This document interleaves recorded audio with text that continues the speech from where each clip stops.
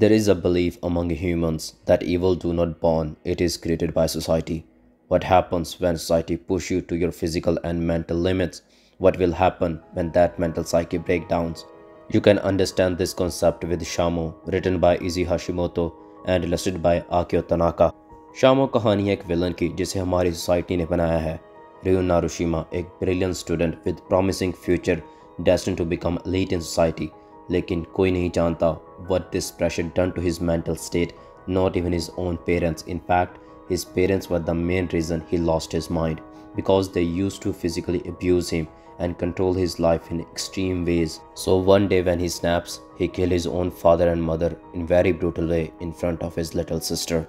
in Japan जब भी कोई माइनर क्राइम करता है, उसका चेहरा पब्लिक में नहीं दिखाया जाता। ये मानते, जब उन्हें सजा काट कर बाहर आए so he can start his new life in this world but Ryu के केस में उसका चेहरा पूरे मीडिया में दिखाया गया which killed his respectable future in this world everybody knows Ryu Narushima is a parent killer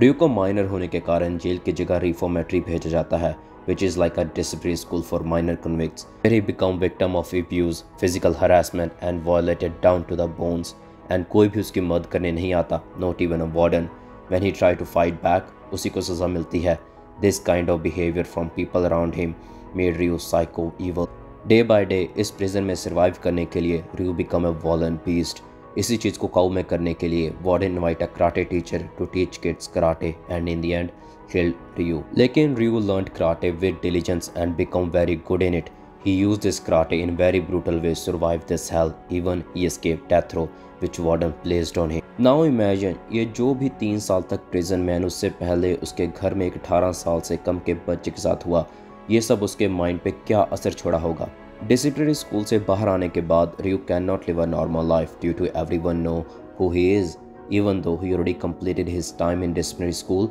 लेकिन दुनिया आज भी उसे क्रिमिनल ही मानती है Nobody ever tried to understand him, which make his chances to redeem himself to zero. So to survive in this cruel world, he got involved with Yakuza, fight with thugs to sharpen his karate skills, and to earn money, he started working as a gigolo. And from here, his story of becoming a psychopath criminal starts. If you're still here or listening or watching this video, I'm sure you understand this. This story is not about a hero who overcome his tragedies and become a good person in the end. No, this is a story of a villain as its protagonist.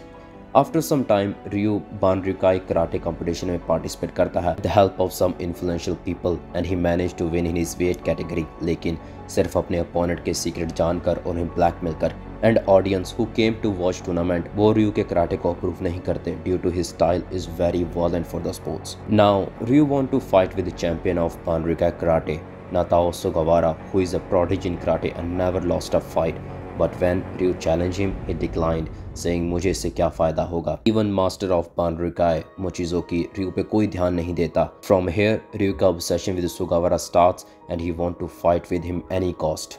In manga ये कभी नहीं बताया गया उसके obsession का कारण क्या है। अगर मुझे पूछो आई थिंक रियू सोचता है अगर वो सुगावारा जो एक पब्लिक हीरो है उसे हरा दे तो शायद सोसाइटी उसे एक्सेप्ट कर ले.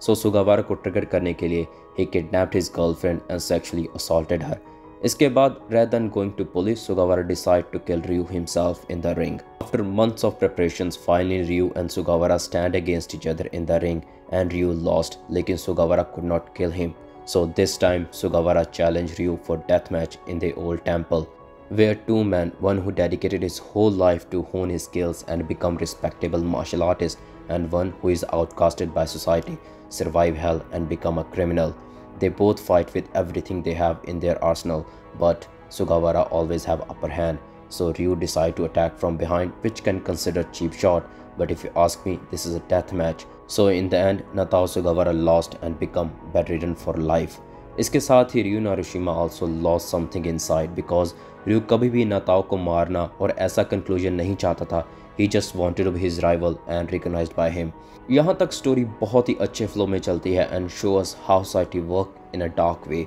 लेकिन इसके बाद सीरीज़ काफ़ी अनकंसिस्टेंट हो जाती है and lost its dark aspect मैं ये नहीं कह रहा कि इसके बाद क्या बुरे हैं, लेकिन compare to first two arcs the rest of the story look very different इसका कारण some dispute between Eiji Hashimoto and illustrator Aoki Tanaka despite all this Shama is one of the best darkest martial art manga you can read which shows villain's point of view of this world and even some places it forces you to cheer for him and in the end this series also shows dark reality of our human society thank you everyone जिन्होंने भी यहाँ तक video देखा I really appreciate it if you like these type of videos you can check out my channel thanks for the support goodbye take care